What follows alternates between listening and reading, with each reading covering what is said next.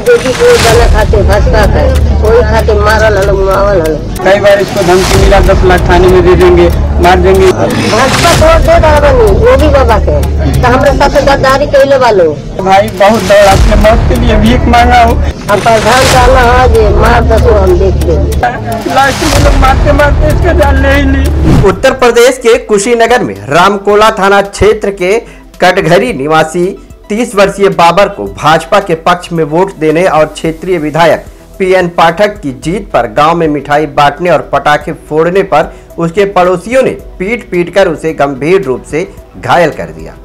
हालाँकि इलाज के दौरान एक निजी अस्पताल में शुक्रवार को उसकी मौत हो गई और शनिवार की रात में शव को गाँव लाया गया। रविवार की सुबह आठ बजे परिजन शव को घर के दरवाजे पर रखकर एसडीएम को बुलाने की मांग करने लगे। करीब छह घंटे बाद मौके पर पहुँचे एसडीएम कस्या वरुण कुमार पांडे ने पीड़ित परिवार को आरोपियों की गिरफ्तारी का आश्वासन दिया।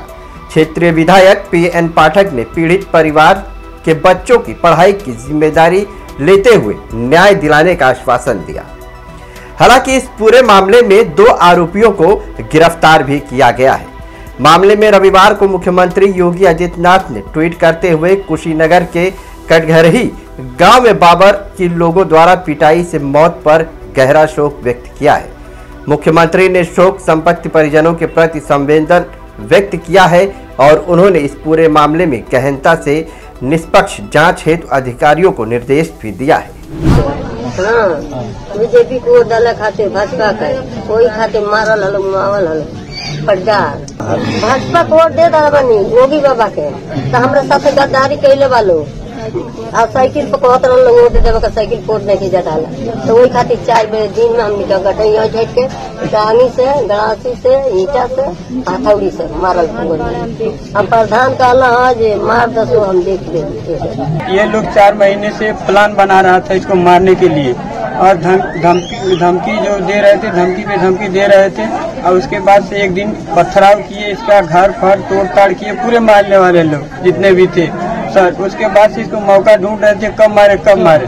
सर, ये बस ये बीजेपी के प्रचार प्रसार में लगा हुआ था, और इसके लिए ये लोग बहुत मतलब इन लोगों का पूरा मतलब गुस्सा सर पे चढ़ गया था, कि अब मार देंगे, तब मार देंगे। कई बार इसको धमकी मिला, दस लाख थाने में दे देंगे, मार देंगे, ये कर देंगे, वो कर देंगे।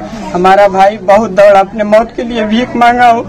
एसपी कार्यालय में गया, उसके बाद से थाना रामकोला में गया, उसके बाद डीएम साहब के पास गया, हर जगह एफ़ किया है, कोई सुनवाई नहीं हुआ है, और ना ही कोई इसको बचाया है। लास्ट में लोग मारते मारते इसका जान ले ही ली। थाना रामकोला के अंतर्गत अभियोग संख्या तिरसठ बटे बाईस में एक अभियोग पंजीकृत किया गया था, जिसमें पीड़ित बाबर अली को गंभीर चोटें आई थी, जिसको लखनऊ रेफर किया गया था। दौरान इलाज उस व्यक्ति की मृत्यु 25 तीन 2022 को हो गई, जिस संदर्भ में अभियुक्त गण आरिफ व ताहिद को गिरफ़्तार कर जेल भेजा जा चुका है। अन्य अभियुक्त गणों की गिरफ्तारी के पूरे प्रयास किए जा रहे हैं। दोनों ही अभियुक्त, दोनों ही वादी और प्रतिवादी दोनों ही पक्ष जो है एक ही समुदाय का